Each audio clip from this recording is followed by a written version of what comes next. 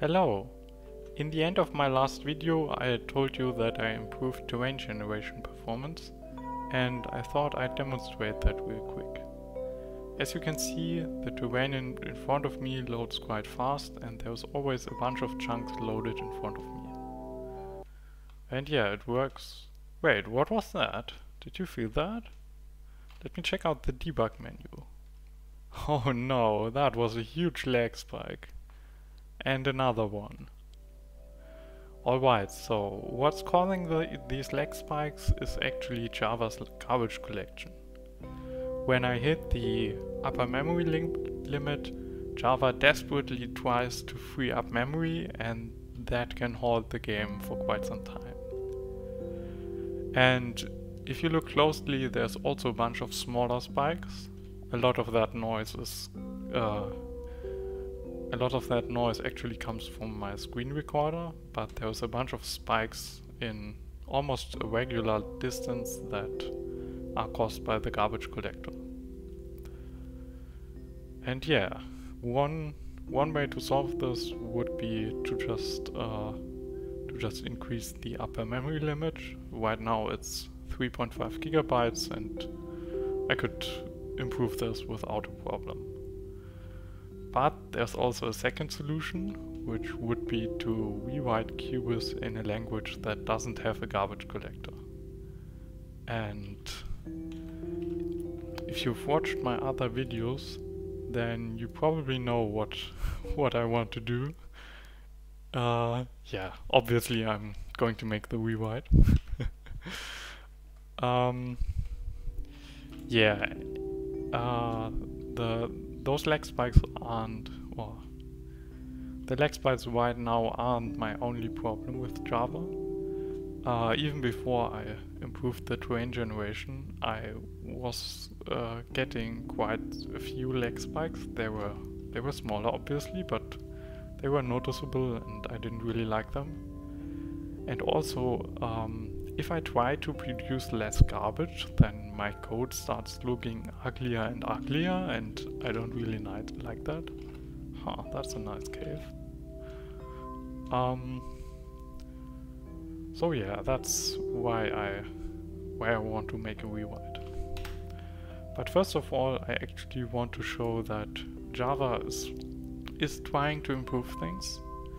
There is this project Valhalla that basically tries to make uh, types that don't have a pointer that are basically inlined into into the array without having without having all those extra objects lying lying around the memory and the garbage collector would need to take care of all of these individually whereas in the new system you'd have like one big array that can be cleaned at once that would be a lot better obviously. But this project Valhalla is it has actually started in 2014 and there's honestly no end in sight so that wouldn't be a short-term solution. So what other languages can I use? Actually one of my big problems with C++ uh, has actually been fixed in C++ 20 I didn't like all these includes because it kind of forces me to use header files and with header files I basically have to duplicate a lot of stuff between the header files and the implementation files. And yeah, with these modules it is possible to import uh, to import stuff like in every other normal language.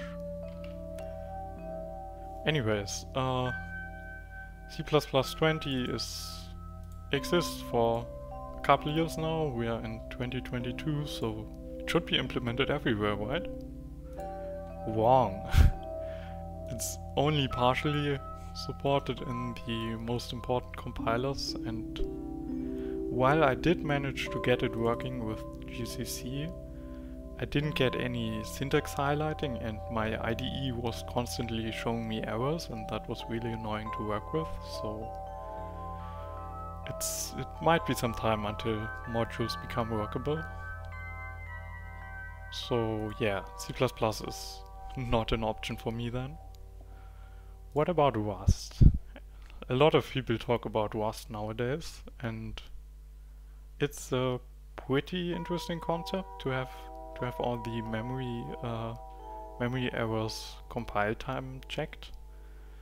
And I did try Rust uh, very briefly though but I tried it and I've to be honest I've found it kind of annoying to have this borrow checker. It it kind of limits design choices in a way. Like as soon as I want to have pointers everywhere then I'm I'm getting a problem with lifetimes and having only one mutable reference at a time and all that. And yeah, in my case, I'm making a game, so I don't really need reliability. It just needs to work good enough.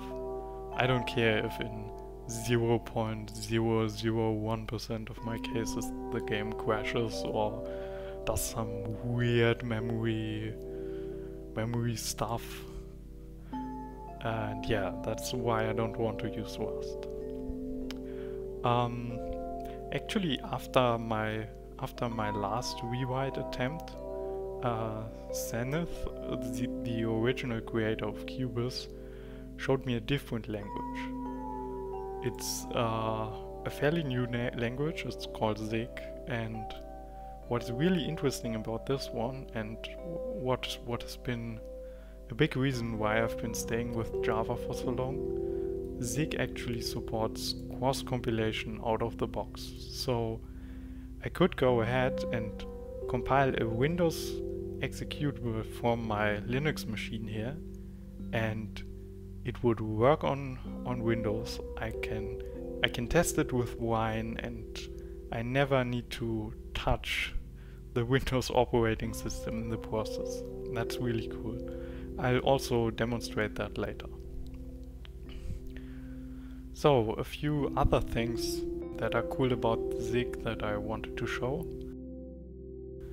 Um, first of all is compile time reflection.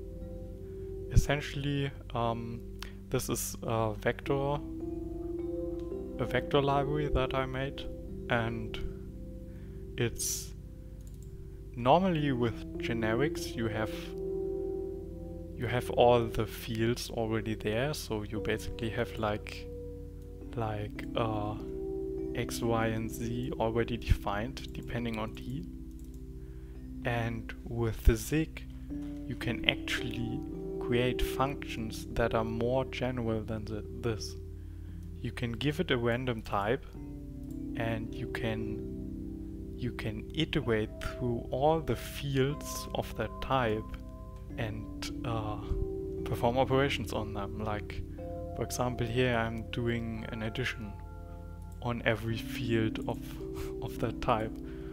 So this is essentially a generic element-wise addition and it works pretty good. so yeah, and essentially I have I have this this function here. I can I can include include this in every in every different type for for two elements, three elements, four elements, and it's working pretty good. Another thing that's really cool about Zig is that it can that it can work with C libraries really easy. This is literally the only thing I have to do to include a a C header file. It's it's super it's super easy and uh, works out of the box.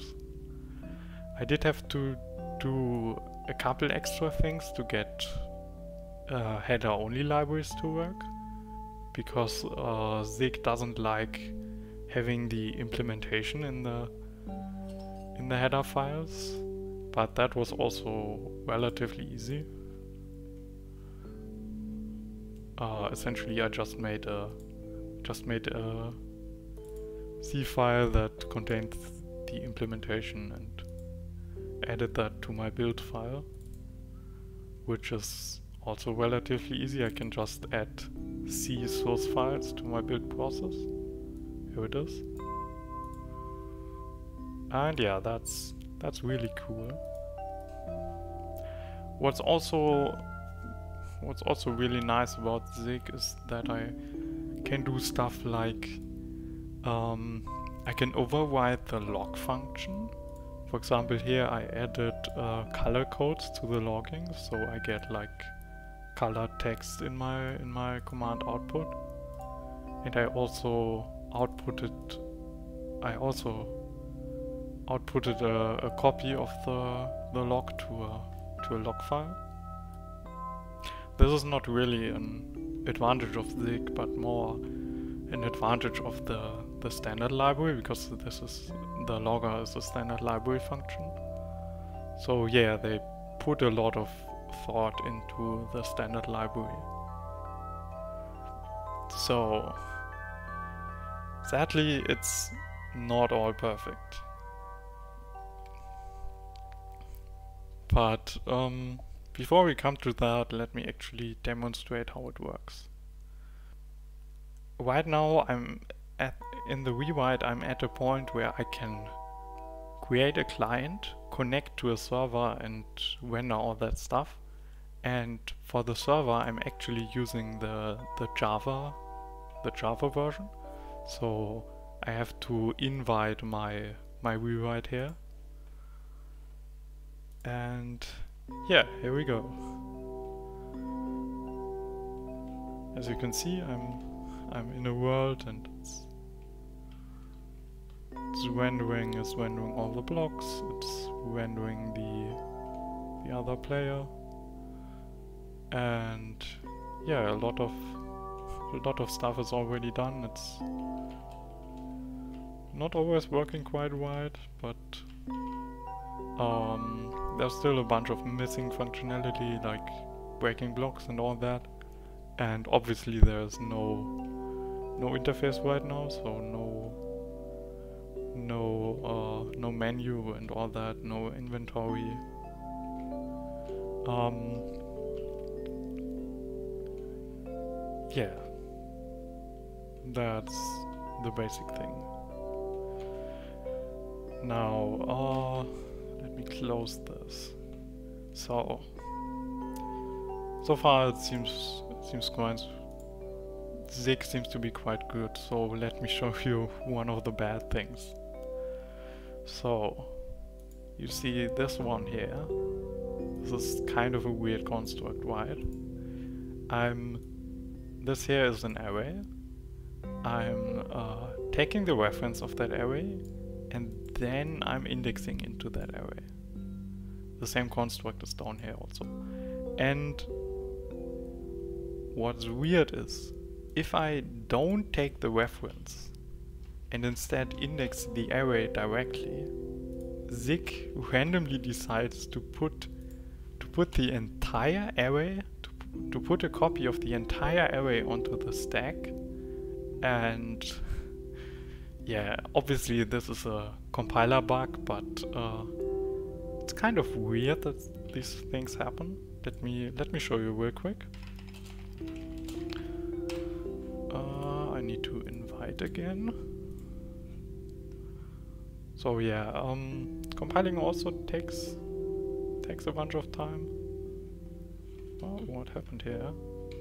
Ah, it's already working. As you can see, it's loading super slow. I I changed the loading process basically, and as you can see, it's it's so slow. It still has only loaded like a couple of chunks and yeah, just to just to demonstrate the impact of this issue. Obviously, um, I found this workaround, so it's not it's not affecting me th that much right now, but I just wanted to so show that Zig is full of compiler bugs and it can be a bit annoying. So if you are if you don't want to chase compiler bugs all the time, then Zig is probably nothing, mm, not very good for you. But in a couple of years, it, it might be really interesting. So the next next thing I want to show is um, compiling for Windows, which essentially I can give uh, the compile command like this target option, which tells it to compile for for Windows and since I already compiled that earlier, it's still in cache and super fast. And what I can do now is I can take out my my wine, which is like which is not an emulator for Windows, but it's uh, it allows me to execute uh, Windows executables like like this one. And as you can see, there's a window. I obviously have to um, open the open the server, and here we go, a working a working Windows version of my project. and I didn't even have to open Windows for to test it. this is so cool.